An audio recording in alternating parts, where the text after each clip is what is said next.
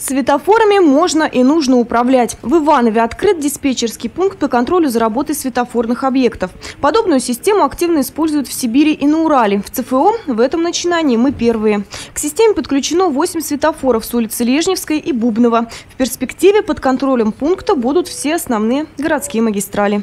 Я думаю, что мы э, в дальнейшем будем развивать э, ситуацию таким образом, что на светофорах будут установлены видеокамеры наблюдения, которые будут э, в режиме онлайн передавать сюда, в центр, сообщения, видеорегистрацию той или иной дорожной ситуации на улицах областного центра. Это важно, потому что количество автомобилей превышает уже 130 тысяч в городе. В зависимости от времени суток режимы работы светофоров меняются. Всего 5 программ. Утренний час пик, дневной и вечерний режимы, вечерний час пик и ночной режим. Исходили из реальной ситуации. А все такая сладость, что участки некоторые, в общем-то, имеют небольшой запас по накоплению. И приходилось нам что делать? Группир, группировать эти объекты. Скажем так, вот эти вот два объекта, еще плюс два, это одна группа, а вот эти два и два, четыре, это другая группа. Между с ними есть возможность накопления. Видите, какое расстояние большое?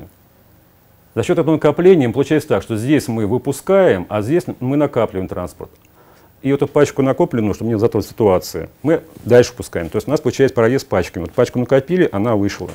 Свет направленно накопили, она тоже вышла.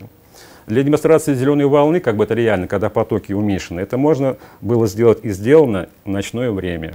Там можно наблюдать зеленую волну. Оптоволоконный канал связи между пунктом и светофорами предоставил Интеркомтел. Программное обеспечение из Екатеринбурга. По словам специалистов, за неделю работы пункта пропускная способность на Лежневской увеличилась на 18%.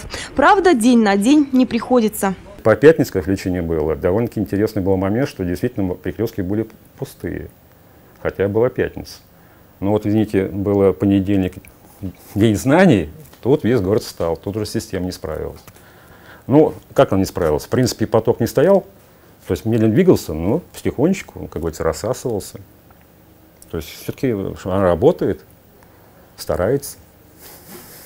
Пока визуальной картинки в диспетчерском пункте нет. Например, о ДТП специалисты оперативно узнать не могут. Срочно изменить режим работы светофора или, например, включить желтое мигание инженеры могут после звонка из ГИБДД или городской мэрии. Но это только в экстренном случае.